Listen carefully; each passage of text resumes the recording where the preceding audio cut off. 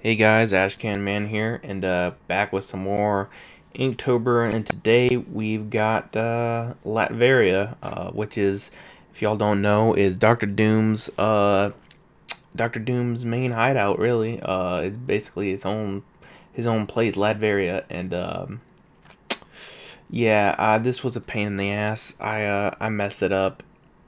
I don't think it. it's the weirdest looking castle ever. Um, this is like my second time doing landscapes. So, and the first one, land, first landscape I ever did was just basically like a city. So it was, it's pretty easy because you just got up and down, up and down, up and down. Uh, this one was a little bit tricky. Uh, and, uh, yeah, man, I don't know. Uh, let me know what y'all think of it. Um, take, I took it from reference, but my God, it didn't even look like the same thing by the time it came out. Yeah, I don't think it was the worst ever, but it's close.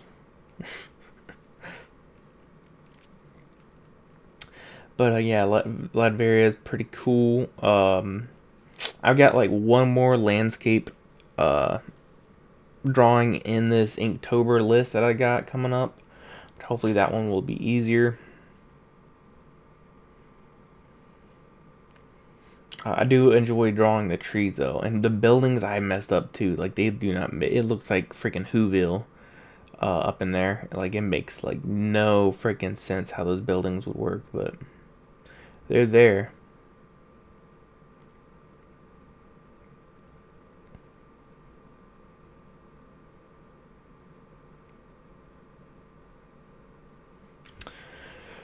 So uh, basically, the like the trees and stuff is easy and stuff, but uh, when it comes to like buildings and stuff, especially this castle, you have to, your lines, your line work has to be perfect, and uh, or it's not gonna look right, and it's gonna look like Dr. Seuss came to town, and that's what it looks like. So if you're a fan of Dr. Seuss, you might like this, but uh, I wasn't a huge fan of it.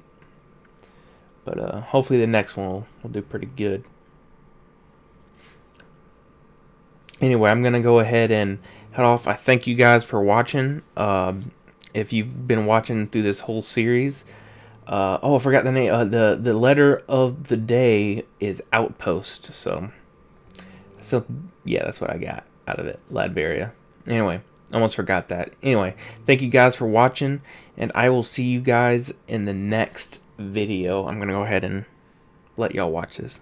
Bye, guys.